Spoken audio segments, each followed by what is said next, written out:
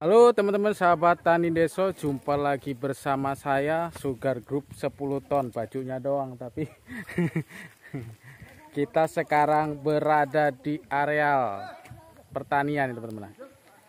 Seperti bongkaran hutan baru.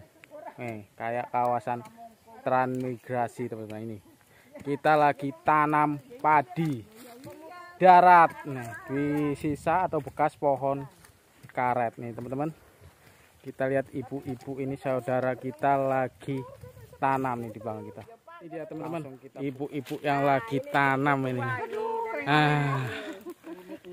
Lihat ini pekerja-pekerja keras. Ya.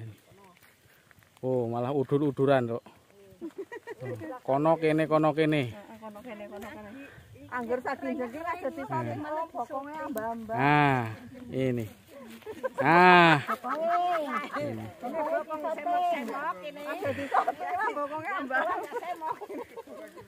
Oke teman-teman. Nah, ini kita mau berbagi informasi sedikit teman-teman mengenai tanaman padi darat di daerah kami teman-teman. Nah ini kita tanam padi darat uh, varietasnya mapan teman-teman. Ini umurnya sangat genjah sekitar empat bulan sudah bisa dipanen. Tidak seperti padi kuku yang sampai enam bulan ya teman-teman. Ini lebih cepat panen katanya. Saya juga baru tanam ini.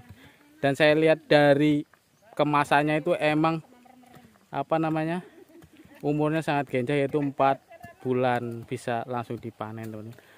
Nah ini berasnya juga yang sudah panen dulu itu katanya berasnya enak teman-teman pulen enak tidak kalah dengan padi. Sawah teman-teman oke? Okay? nah ini Pak D uh, kita Pak D Tarimin ini. Wah. Halo. Halo guys. Ini jadi prosesnya ditugal dulu atau ditajuk menggunakan alat seperti ini kayu ya. Uh, manual teman-teman oke? okay? Sebelum ditugal atau ditajuk kita tentukan dulu jarak tanamnya teman-teman. Nah ini jarak tanamnya menggunakan tali atau kenteng ini supaya lurus. Biar bisa lihat ya? Ini kenteng ini.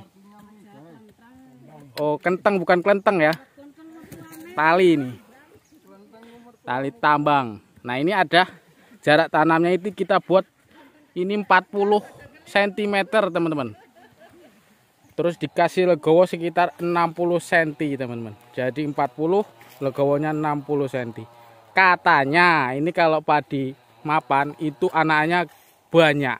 Jadi perlu jarak yang lebar. Juga karena ini posisi tanaman apa tanah kita ini areal kita ini da, bekas tanaman karet katanya subur teman-teman. Jadi emang harus apa jaraknya harus jauh karena kemungkinan tumbuhnya itu subur-subur nanti. Amin ya Allah, amin. Subur-subur segede-gede bagong.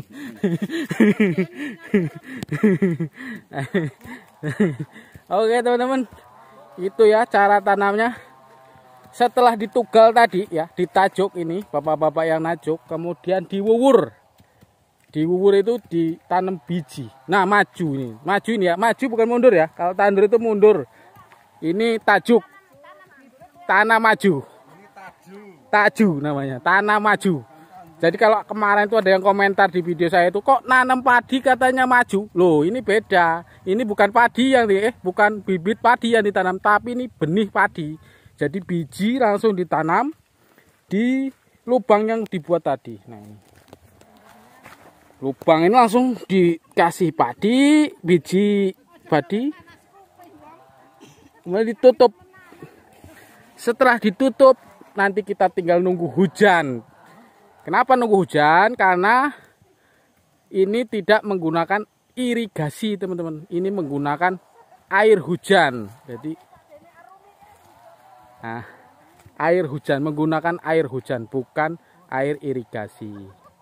Jadi tanaman ini bergantung dengan air hujan. Jadi tanam padi darat ini menunggu musim penghujan. Jadi kalau musim kemarau tidak bisa tanam padi.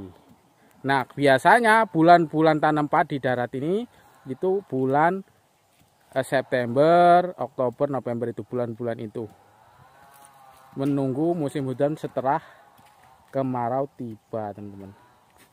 nah ini ini mbah kita ikut mubur juga hmm. oke teman-teman itu tadi ya proses tanaman padi padi darat. Eh, sangat sederhana sekali ya.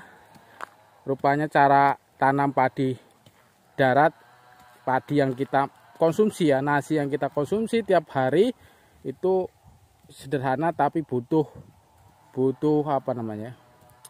Butuh kerja keras untuk menghasilkannya.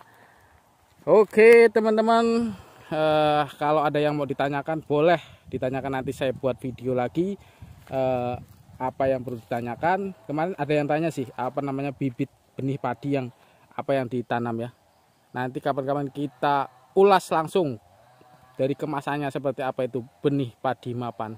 Terus ikuti terus perjalanan YouTube Tani Deso. Jangan lupa untuk di like, subscribe, klik loncengnya supaya bisa dapat notifikasi dari video selanjutnya dari Tani Deso. Oke, sampai berjumpa lagi. Saya Assalamualaikum warahmatullahi wabarakatuh.